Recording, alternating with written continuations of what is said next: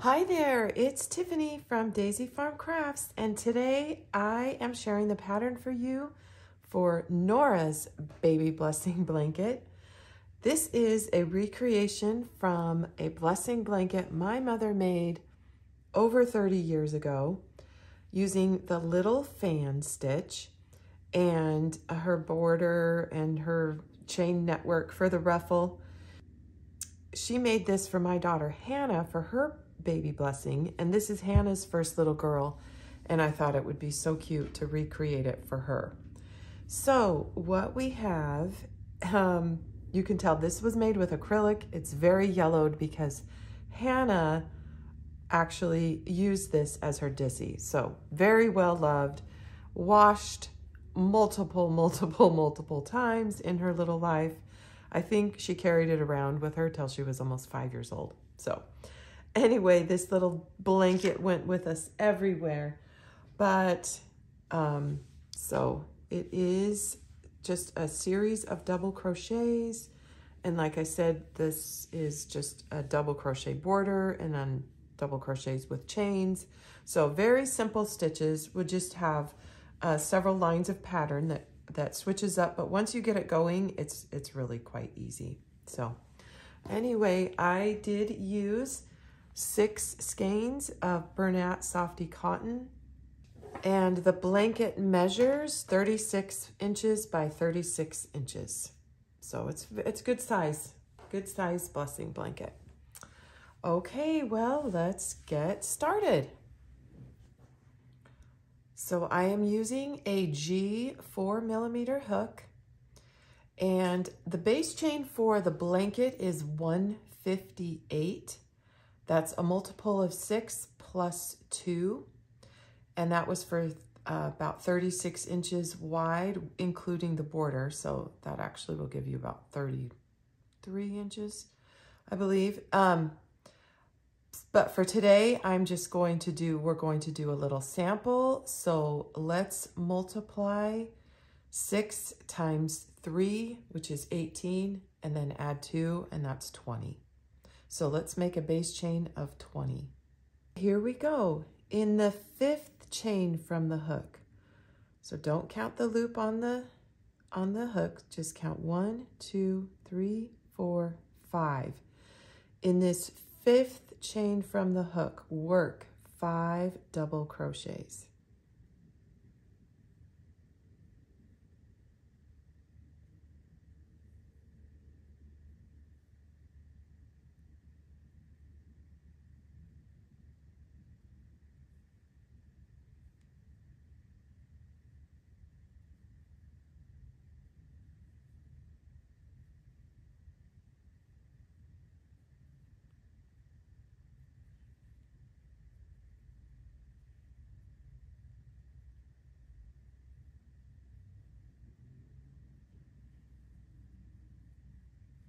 Now we will skip two chains and work one single crochet into the next chain.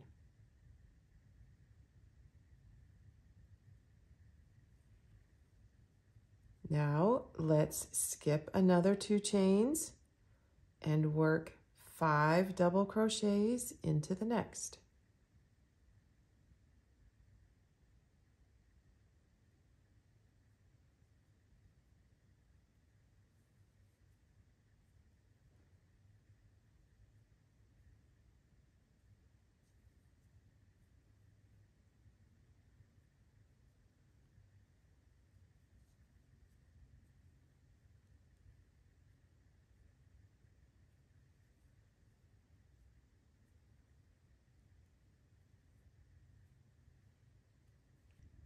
Let's skip two chains and then work single crochet into the next. We're going to just repeat this to the end of the row. So your last stitch should be a single crochet in the last chain of the row.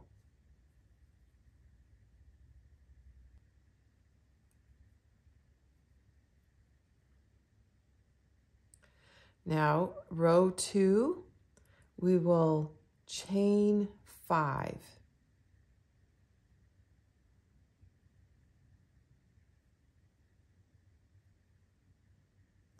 Turn your work.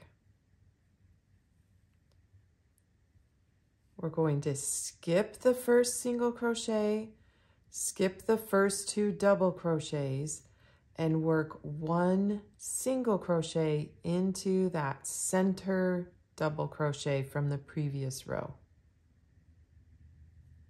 Then chain two,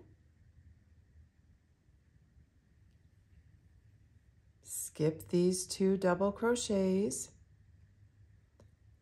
and work a double crochet into the top underneath both loops of the single crochet from the previous row.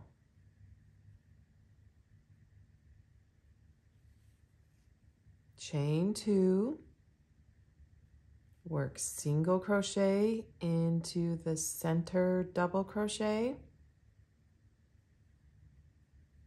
chain two, Work double crochet into the single crochet.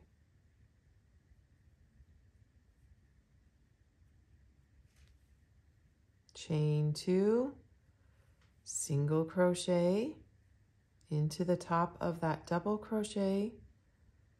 And here we are at the end. We will chain two and work one double crochet into the top of that turning chain.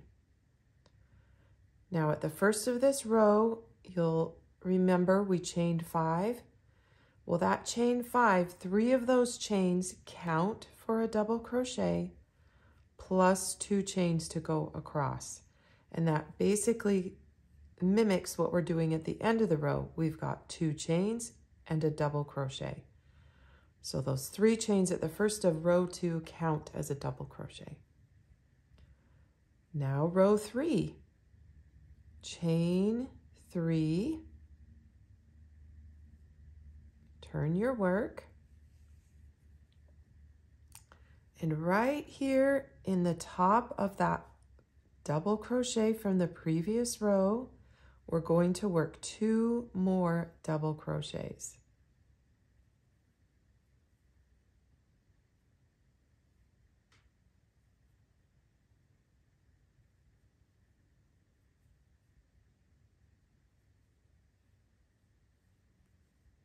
Now we will work a single crochet into the single crochet from the previous row and we will work our fan or the five double crochets into the top of the double crochet from the previous row.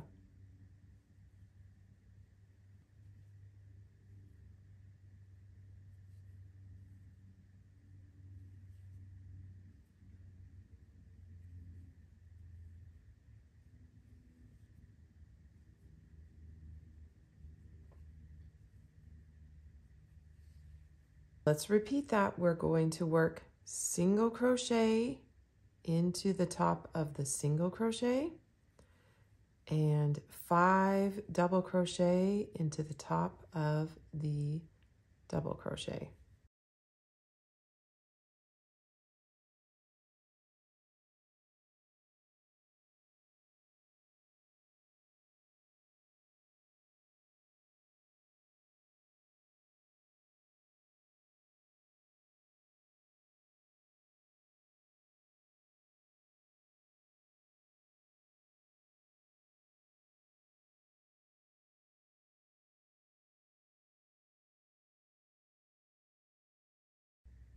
Every row we want to, so one helpful tip is you want to end the row by mimicking what you did at the first of the row.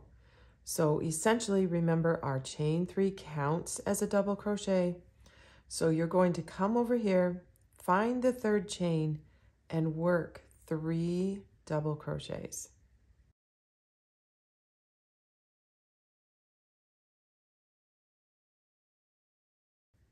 That's one way to help you keep the sides straight and helping you remember. So if you start a row, you can with the three double crochets. By the time you get to the other side, you can look back, remember what you did, and that's how you finish this row.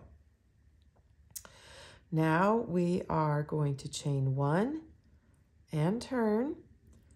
And this is our little network of chains that we're going to start doing. Very similar to the second row. Let's work one single crochet into the top of that double crochet, chain two,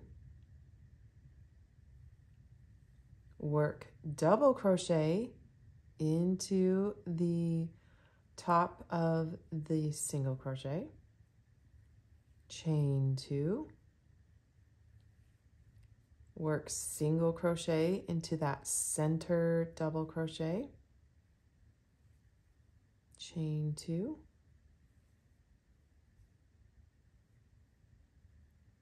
double crochet. So you'll note the pattern in this row, there's always two chains separating the stitch. The single crochet works into the center of the double crochet and that double crochet works into the single crochet. Chain two, and we're going to finish the row ending with the one single crochet and that matches, sort of matches what we did at the first of the row, making a single crochet and then chaining two. So we're ending with two chains and then a single crochet. Okay, let's work on row five and then that's our last row of pattern. We will chain one and turn.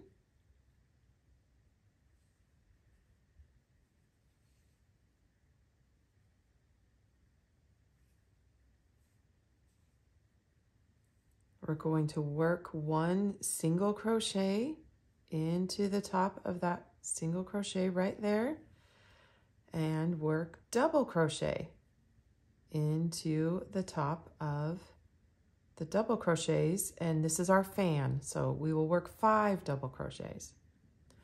So in this row of pattern it's pretty easy to remember.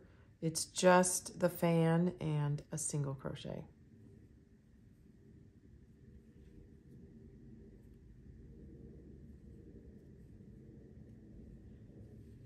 Skip and the single crochets work into the top of the single crochets and the fan in top of the double crochet.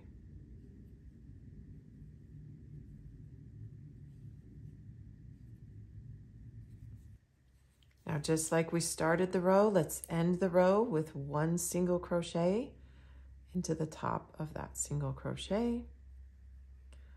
And here we go. Let's repeat row two. So we will start by chaining five. Turn our work. Remember this counts as the double crochet and the two chains, you'll work single crochet into the top center of the fan, always chain two, work double crochet, it's kind of opposite. Now we're working the double crochet into the single crochet, chain two, we're working single crochet into the center of the double crochet. Chain two.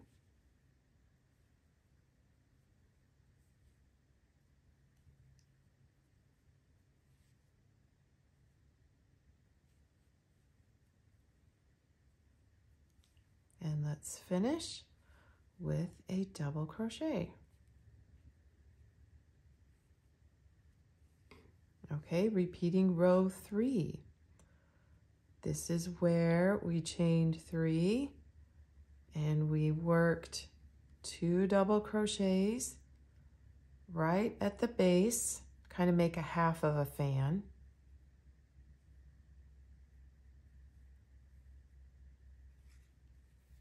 In this row, we don't have any chains.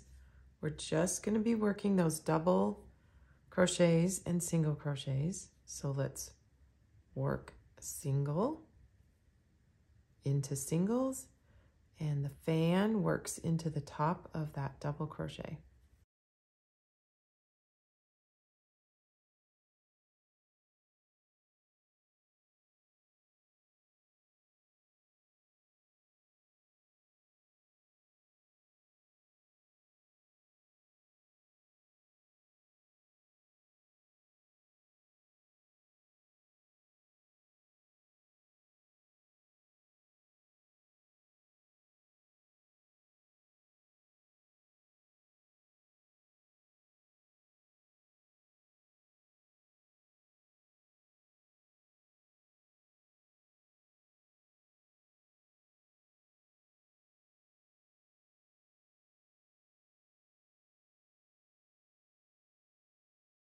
Started the row with essentially the three double crochets. Let's find the third chain from counting up from the base there and work three double crochets.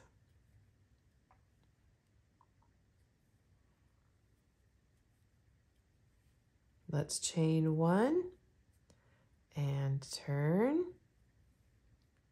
and work a single crochet, kind of start our chain, two chains. Now we're doing the opposite. We're working that double crochet into the top of the single crochet. Always chaining two, working single crochet into the top of that fan.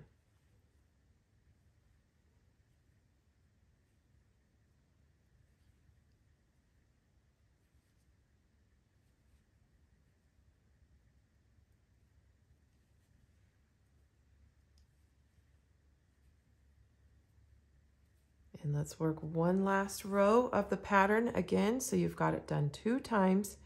This will be, this is the end of row four instructions. Let's work row five one more time. Look how cute that's looking. Such a cute, you really get into a nice rhythm for, for how intricate it looks. It's really, once you get going, you kind of realize, okay, I'm doing the same thing every other row just a little bit different on the ends. So let's start with a single crochet. This is kind of the fan row. You'll remember singles work into singles on the fan row and doubles, the fan works into a double crochet.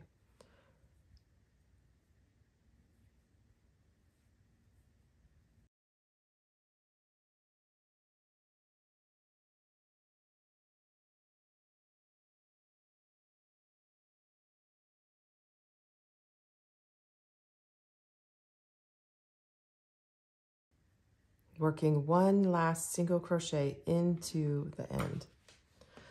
Okay, so this will be basically what you do until your, your blanket is square. You go as many rows as you need until the blanket is square. So I have completed the blanket by finishing on after row four.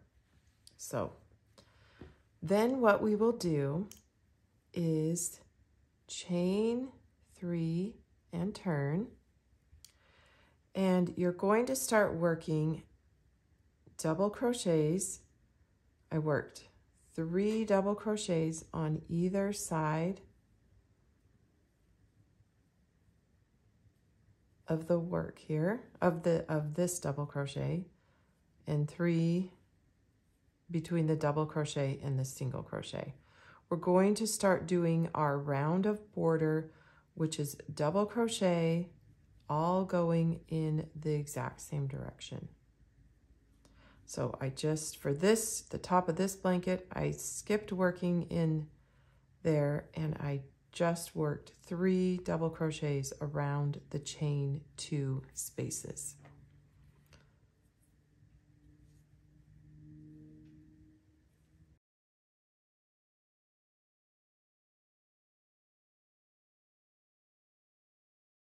Now when you get to this final um, single crochet of the row, go ahead and work three double crochets into that single crochet.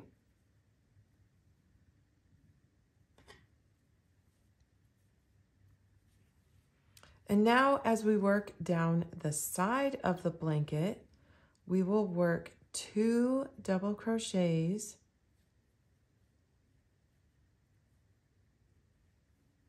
for each uh, the side of each double crochet per maybe say per row.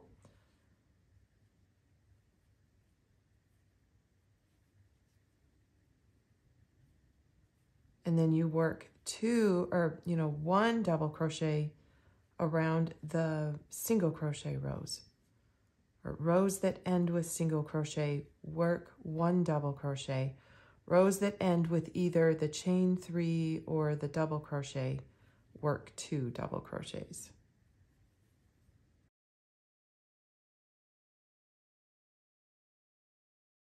when I get to the corner here, I'm going to work three uh, double crochets.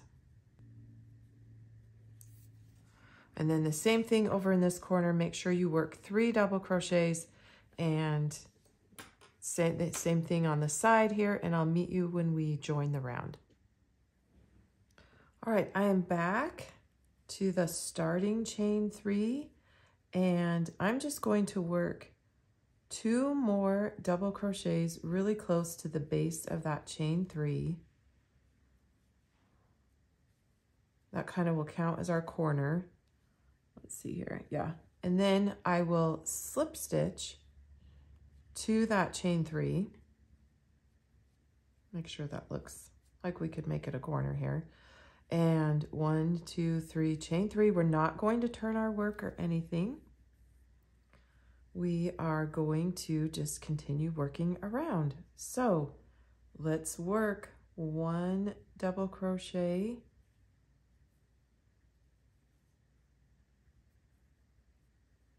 per the top of each double crochet and I'll show you what we're going to do around the corners because it's really want these corners to fan around. Now, when we get to our first corner, what we are going to do is you see our three stitches. We'll work two double crochets in the first stitch, three in the middle stitch, and two on the third stitch. So two double crochets,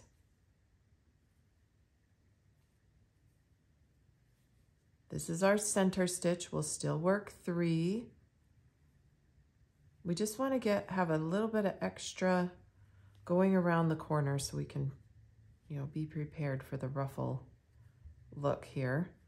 And then two double crochets coming out of the corner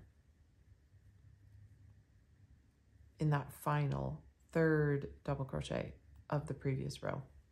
Okay, that's how we're gonna do our corners. So it's two, three, two. And then so just keep going around. We've got five rounds of all double crochet here.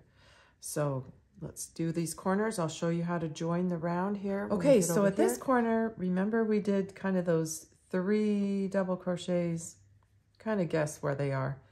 Do the same thing. I'm going to do these final double crochets. They kind of become our corner here. So Work two in the first one, three in the center one,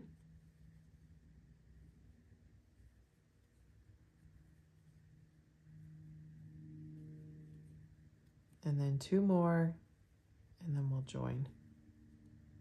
Or you can all actually almost, it's gonna be up to you. If you feel like you've got enough, just use the chain three as the the second one, but if you want to make sure you have enough that are going around the corner, work another one. And then I just join, I'm going to join to the top of that double crochet right there. It kind of hides the chain and then we're good. Okay, so we, you will do Let me show you on this blanket. Five rounds of that. Or did I do four? One, two, three, four. Four rounds of the double crochet. Continuing to do the corners. So we'll chain three. Let me get you over to this first corner. And work. And this time when you get over to the corner, you can ignore the two and just look for the one that has the three and work two, three, two. So these that are two, just work one, one. We're only going to increase on the double crochets that we worked three. So that's our, our new corner. Okay, so work around. I'll do one more round of that and then I'll show you how to do the next round, which is two double crochets, skip a stitch, and then we do the chain network. Okay, I just finished this second round. So like I say, you're going to do two more rounds if you'd like. Um, and this just turned out great that I worked in this final, you know, three in the previous row. You work the three in the center double crochet and then I work two and now it's just working out great. When you join, I still am joining over to the top of the other double crochet, pull through, and then that that chain just really disappears in your work. Now we're gonna so, work on the V-stitch round.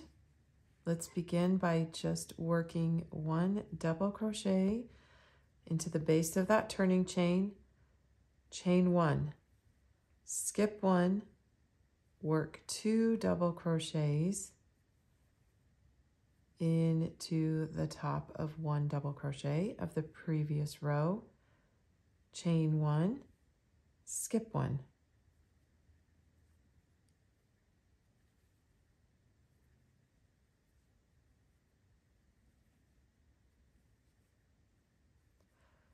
Skip one. So we're always working two double crochets and then a chain one and we're skipping one and working two double crochets.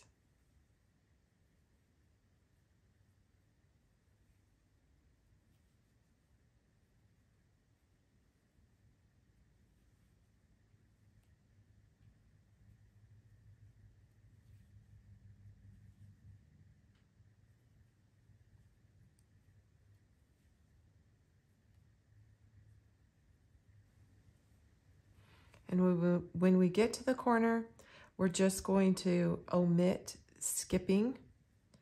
So we will just work two double crochets, chain one, don't skip. Just work.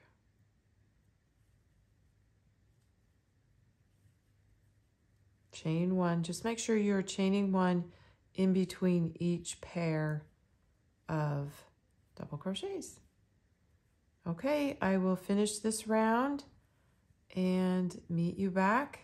And then I'll show you how we're going to begin the chain, the chain network part of the ruffle. See, it's already kind of starting to ruffle. So I'm just Very going cute. to work my last V-stitch and join the round. Chain one. And now we can work the beginning of what I call the chain network. And you're going to have four rounds of this. So just chain three. We're always going to chain three.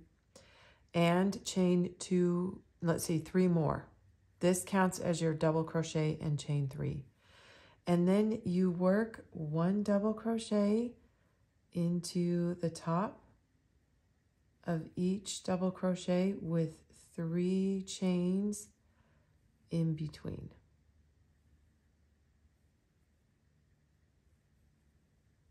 So one, two, three, and double crochet. You don't need to worry about the chain ones from the row below. We can skip over those. Just make sure you work one double crochet into the top of each double crochet.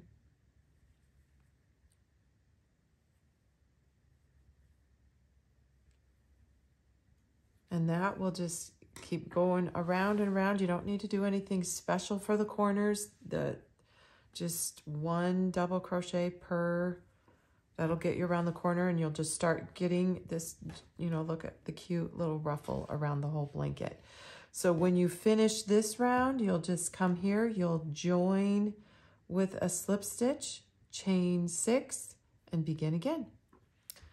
And on the last round, you'll just join and tie off. So you will get, you know, just let me show you this little border again. And I actually wimped out after three rounds, but my mom did four. So I'm going to let you decide. But it got a little bit tedious for me and I was running out of time and I just wanted to get it finished. So anyway,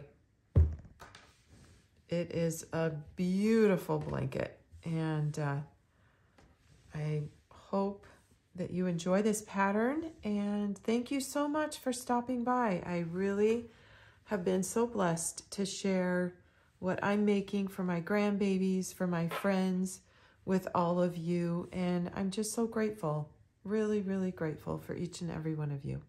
You have a wonderful day.